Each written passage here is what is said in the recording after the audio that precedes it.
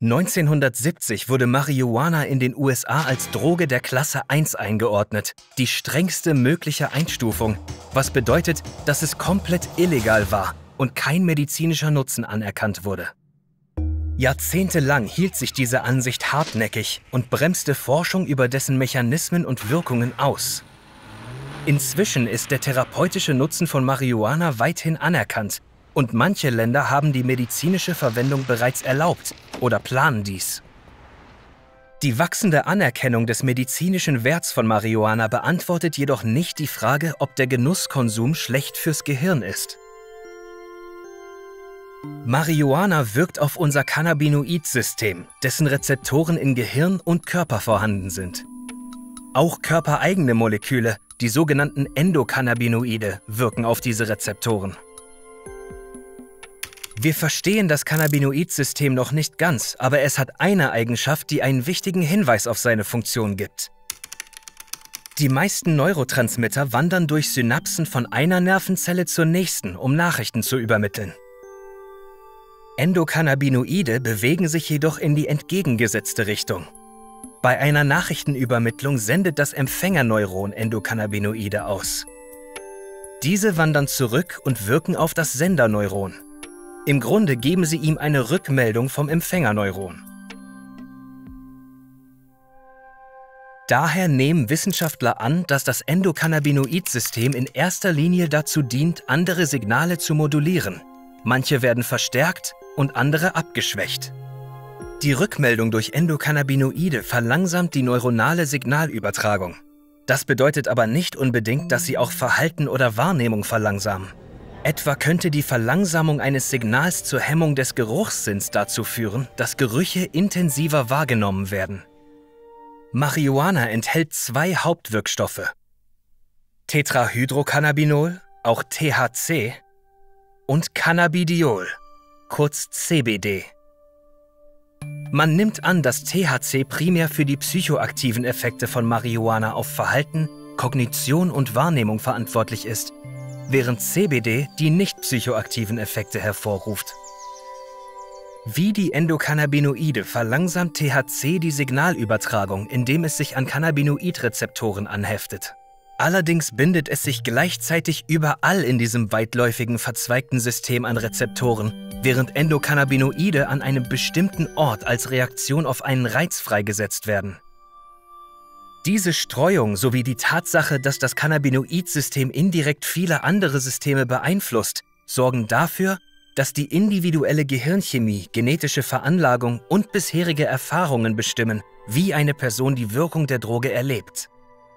Das gilt für Marihuana noch viel mehr als für andere Drogen, die ihre Wirkung über einen oder wenige spezifische Wege entfalten. Daher sind die schädlichen Auswirkungen, sofern sie überhaupt vorhanden sind, von Person zu Person unterschiedlich. Und obwohl wir nicht genau wissen, wie es zu bestimmten schädlichen Wirkungen von Marihuana kommt, gibt es klare Risikofaktoren, die die Wahrscheinlichkeit für deren Auftreten erhöhen. Der eindeutigste Risikofaktor ist das Alter. Bei Menschen unter 25 sind die Cannabinoidrezeptoren in der weißen Substanz höher konzentriert als bei älteren. Die weiße Substanz spielt eine Rolle für Kommunikation, Lernen, Erinnerungsvermögen und Emotionen. Häufiger Marihuana-Konsum kann die Entwicklung der weißen Substanz stören und zudem die Bildung neuer Verbindungen im Gehirn behindern. Das kann langfristig die Lern- und Problemlösungsfähigkeit beeinträchtigen. Bislang ist unklar, wie schwerwiegend diese Schädigungen sein können und ob sie reversibel sind. Und je jünger jemand ist, desto höher das Risiko. Für 15-Jährige ist es zum Beispiel viel höher als für 22-Jährige. Darüber hinaus kann Marihuana Halluzinationen und paranoide Wahnvorstellungen auslösen. Hm? Eine solche Marihuana-induzierte Psychose klingt nach Einstellung des Konsums meist ab. In seltenen Fällen geschieht dies jedoch nicht und es entsteht eine anhaltende psychotische Störung. Fälle von psychotischen Störungen wie Schizophrenie in der Familie sind der eindeutigste, aber nicht der einzige Risikofaktor für diesen Effekt. Marihuana-induzierte Psychosen erleiden zudem häufiger junge Erwachsene, wobei man aber erwähnen sollte, dass psychotische Störungen sowieso meist in diesem Alter auftreten. In solchen Fällen ist unklar, ob die psychotische Störung auch so aufgetreten wäre, da man nicht weiß, ob der Marihuana-Konsum sie frühzeitig auslöst, ein Katalysator für einen Kipppunkt ist, der sonst nicht überschritten worden wäre, oder ob die Reaktion auf Marihuana lediglich ein Hinweis auf eine zugrunde liegende Störung ist. Höchstwahrscheinlich sind die Auswirkungen individuell verschieden. Wie bei vielen anderen Drogen auch, reagieren Gehirn und Körper in jedem Alter bei wiederholtem Marihuana-Konsum weniger empfindlich, sodass man eine größere Menge für die gleiche Wirkung benötigt. Glücklicherweise besteht im Gegensatz zu vielen anderen Drogen kein Risiko einer tödlichen Überdosis. Und selbst starker Konsum führt nach dem Absetzen nicht zu schwächenden oder lebensbedrohlichen Entzugserscheinungen. Marihuana-Entzug löst eher subtile Symptome aus, wie Schlafstörungen, Reizbarkeit und depressive Verstimmungen, die innerhalb weniger Wochen nach dem Absetzen aufhören. Ist Marihuana also schlecht für dein Gehirn? Das hängt davon ab, wer du bist.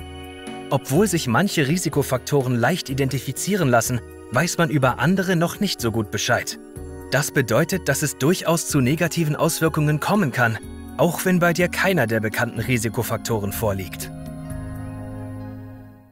Abonniere diesen Kanal für weitere faszinierende Geschichtslektionen, Weltraumabenteuer, knifflige philosophische Debatten und Antworten auf die seltsamsten Fragen über deinen Körper. Bleib dran und bleib neugierig.